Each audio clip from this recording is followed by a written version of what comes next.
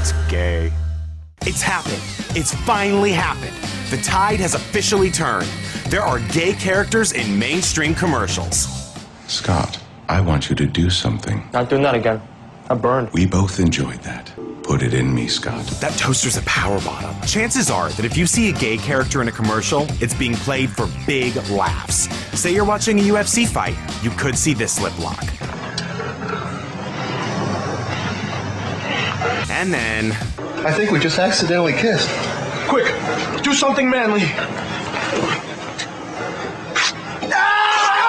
sex is gross. Eat a Snickers. MTV has a pretty steamy kiss that seems promising. And then, Aren't you guys brothers?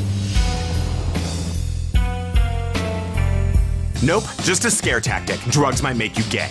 But just because you haven't seen any positive depictions of gays on commercials doesn't mean they're not there. You just have to look really closely. This is on the DL advertising, like bathroom stall foot tapping, but on the air. And I'm here to help you find them. Bryan Safi, gay commercial investigator. Let's search the crime scene in this Orbitz commercial. Back up. Pause. Blow it up. Clue number one. Looks like we've got a gay flag on a golf bag. Keep rolling. You didn't book with Orbitz. You're not getting a check. Stop. Clue number two. Zoom in on the shirt. The HRC equality sign. This is the gayest ad I've ever seen. Next, a taco commercial. Hold it. Gay, lesbian, straight alliance sticker seen but not mentioned on a surfboard. It's like we live in homo land. And don't blink now, because it's a gay flag on a t shirt, under a jacket, on a maybe gay guy in a progressive insurance commercial. How non verbally progressive.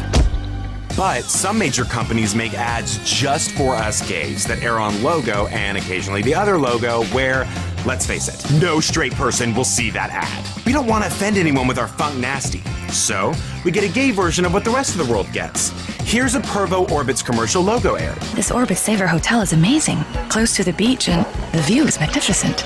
It certainly is. Here's the clean version the rest of America got. This hotel's amazing. Close to the beach, and the view's magnificent.